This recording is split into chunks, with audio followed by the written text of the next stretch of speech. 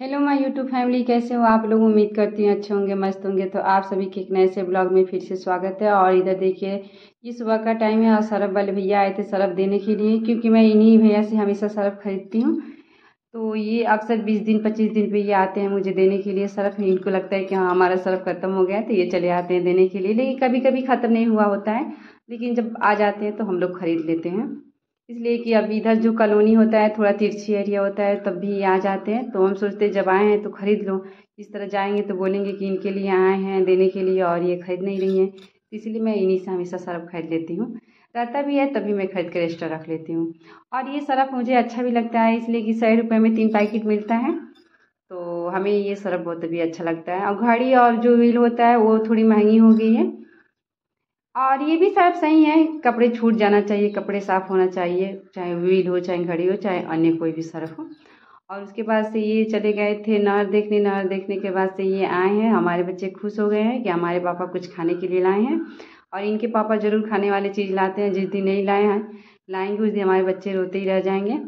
तो देखिए, लाए थे समोसा और पकौड़ी तो ये लोग कैसे खा रहे हैं।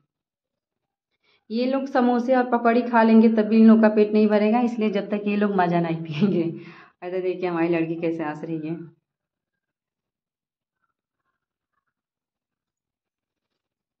इन लोग की आदत आदत लग गई है ना मज़ा पीने की। ऐसा देखिए ये लोग कैसे पी रहे हैं मज़ा। ये सही भी रहता है दोस्तों, हमें भी अच्छा लगता है, लेकिन बच्चे है ना रोज़ रोज़ पीते हैं तो थोड़ी तबीयत ख़राब होने का भी डर लगता है, क्योंकि ये ठंडा चीज़ है ना। और ये कितना भी ठंडा हो, हमारे बच्चे पी ही जाते हैं। इधर देखिए कैसे ये पी रहे हैं। और इधर देखिए हमारी लड़की ये देख रही थी कि मम्मी वीडियो बना रही है तो ये खुद भी आ गई थी। और उसके बाद से मैं इधर आ गई ये जो जीरा है जीरा है और जो पाँच पाँचफोरन होता है, उसी को मैं साफ़ कर रही हूँ। इसलिए कि ये साफ़ रहता है तो जब आदमी खाना बनाएगा तो तुरंत मतलब डाल देता है। और इस तरह साफ़ नहीं रहता है तो खाना बनाने के समय साफ़ करो तो अच्छा नहीं लगता है। इसीलिए कोई भी चीज़ आता है, धनिया हो, जीरा हो, चाहे मतलब कोई भी चीज़, ऐसे जो मसाला में होता है, हम उसको साफ़ करके अच्छे से रख देते हैं डिब्बा में। इस तरह बनाना हमारे लिए आसान रहता है। और ऐसे ही करना भी चाहिए सारी स्त्रियों को, इसलिए कि अब बनाने के समय कोई जाए देखने कि हाँ साफ़ है कि नहीं है तो उतने टाइम दिक्कत होती है। इसीलिए पहले जो चीज़ करके रख दो, वो सही होता है। तो उधर जो मैं फटक के रखी थी, वो पाँच फोरन था, और इधर जो मैं कर रही हूँ, वो ये जीरा है। जीरे में भी अक्सर, जीरा में इतनी ज़्यादा मिट्टी रहती है, उसमें कंकड़ रहते हैं तो इसीलिए देख कर लिया जाता है तो सही रहता है। लेकिन कभी कभी आ जाता है, कोई नहीं देख पाता है, वो लोग दुकान वाले ऐसे ही होते हैं कि बस जल्दी से दे के हटाओ। इसीलिए मैं हमेशा इन लोग को साफ़ सुथरा करके ही रखती हूँ, कोई भी मसाला आता है। इधर देखिए, मैं अपनी लड़की से बातें भी कर रही थी, पता नहीं हमारी लड़की क्या भूली जा रही थी। और दोस्तों, ये शाम का टाइम है, फिर इनके पापा नहर देखने चले गए थे, क्योंकि नहर का काम इस टाइम शुरू हो गया है तो बार बार जाना पड़ रहा है देखने के लिए। पानी भी आ गई है अब। और ये देखिए, हमारे बच्चे कैसे दौड़े हैं, फिर देख के अपने पापा को। इस बार भी ये लाए हैं कटहर क्योंकि नहर के पास जो होता है ना, बहुत लोग कटहर लगा रखे हैं। तो वही कटहर लेके आए थे और मज़ा। और ये सुबह का टाइम है अगले दिन का। हमारी लड़की मांग रही थी दूध तो वही अपने लड़की को देने जा रही है दूध। पहले लड़की हमारी डब्बे का दूध पीती थी, लेकिन अब भैंस इधर लग रही है। तो भैंस का दूध आज से ही आना शुरू हो रहा है। तो सुबह ही आया था तो हमने गर्म करके उसको सोचा, पहले दे देती हूँ पीने के लिए। उसके बाद से फिर मैं कोई काम करूँगी। इधर देखिए थोड़ा सा ये गर्म हो गया है। गर्म होने के बाद से मैं अपने लड़की को दे दूँगी पीने के लिए। इधर देखिए, मेरी चूल्ही पाई हो गई है।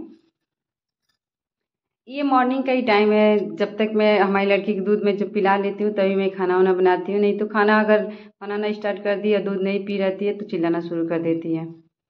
इधर देखिए, हमारे बाबू पीढ़े लेके खेल रहे हैं। और हमने खाना बनने के लिए रख दी थी।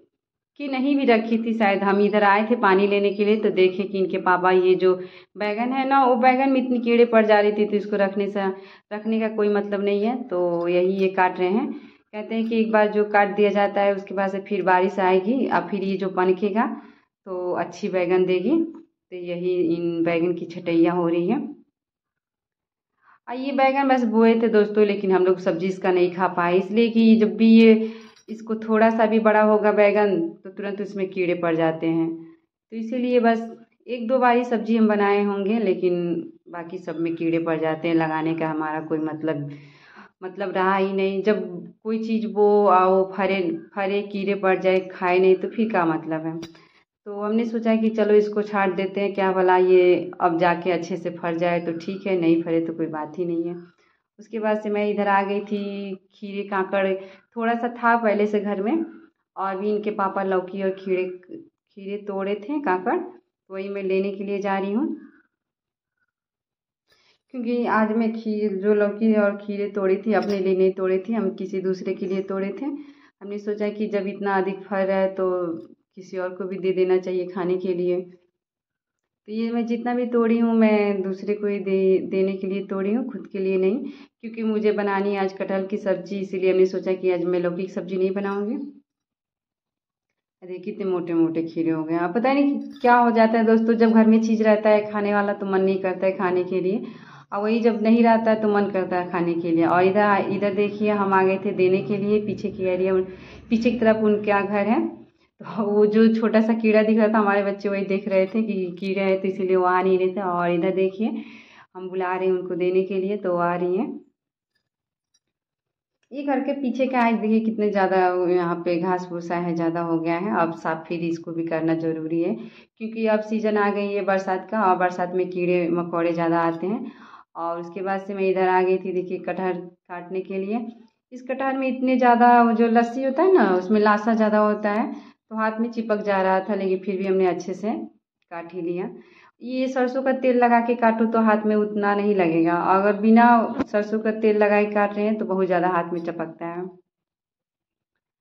तो इसीलिए आज हमें बनानी है कटहर की सब्ज़ी। मैं बच्चों के लिए थोड़ा सा दाल बनाई थी, क्योंकि वो हमारे बच्चे कटहर की सब्ज़ी नहीं खाएँगे और ये लोग तो कोई भी सब्ज़ी नहीं खाते, चाहे आलू का हो, चाहे बैंगन का, चाहे कुछ भी चीज़ की ये लोग सब्ज़ी नहीं खाते हैं। इधर देखिए हम कट कर दिए हैं। कटहल मैं सब्ज़ी कट कर रही थी, फिर मुझे याद आया कि इनके पापा चले गए थे नर देखने। तो हम सोचे कि हमारे बच्चे बाहर होंगे तो ये अपने बच्चों के लिए देखने के लिए आए थे। तो इधर देखिए इनके पापा काट के रख दिए यहाँ पे।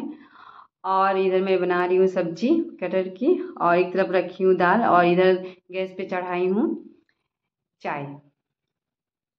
मैं चाय अक्सर गैस पे ही बनाती हूँ, क्योंकि थोड़ा सा चाय बनाना रहता है, इनके पापा चाय पीते नहीं है, सिर्फ़ हम ही चाय पीते हैं।